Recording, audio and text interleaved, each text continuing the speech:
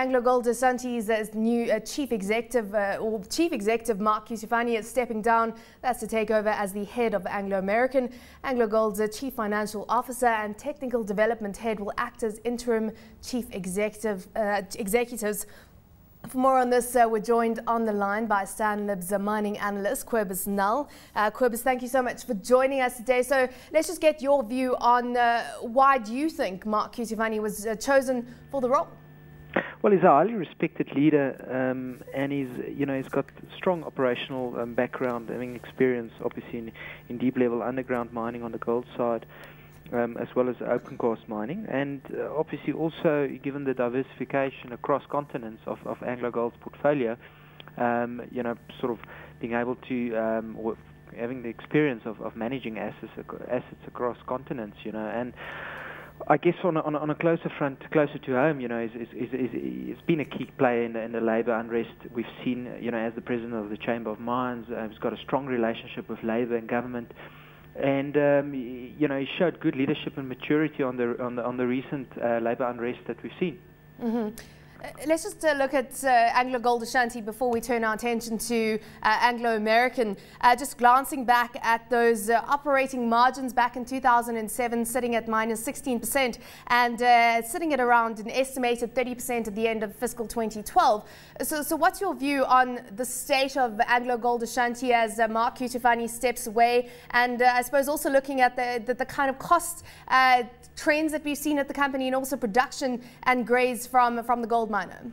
Look, perhaps mixed um, successes. You know, um, there is some areas where he's uh, done very well, and then you know, I guess you will be leaving the company with one or two issues that's still sort of unresolved. Um, and I guess if you look at the company, you know, from operational perspective and, and purely from from production and cost, and also the, the, the share price movement over the last three and a half years of Anglo Gold relative to Gold Fields um, it, it, it, it, certainly did underperform Goldfields, um, you know, on those metrics mm-hmm. um, as, a, as a standalone. Um, you know, so uh, yeah, I mean, you know, as I said, um, you know, it's, it's difficult to put your finger exactly on.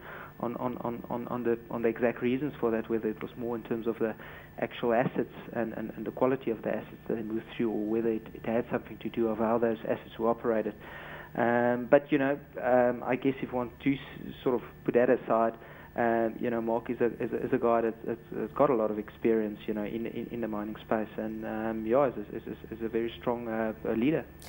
Would it be fair to say that he leaves Anglo Gold Ashanti perhaps in the cold, given the fact that you know they're only one year away from that 2014 strategy they've been working towards in terms of some of their growth uh, targets? They've also, of course, got a lot of new projects that are set to come online, starting with Tropicana this year in Australia. So a lot of new projects, and, and he's leaving the company at a time when uh, they're just starting to, to come forward. Uh, so, so what is your assessment on how that might impact the company? Yeah, certainly not the best time for Anglo Gold um, to see to see the back um, of him. Um, you know, he's um, someone that's been central to a lot of these initiatives that the company have been driving, and um, you know, I guess many investors have been waiting for some of these results to show up. So, um, but then again, you know, um, these things you can't sort of exactly plan them. And um, I guess the one, you know, the one thing one got to say is um, Mark did manage to establish a very strong team, internal team around him within the company. Mm-hmm. Um, you know that that should leave the company in good hands and of course two uh, deputy CEOs standing in for now. Uh, talking about Anglo-American, what's your assessment as to the priority areas? We've been talking uh, for much of the time about uh, Anglo-American Platinum and the review there. So, so what do you think uh, Cutifani needs to spend the majority of his time focusing on?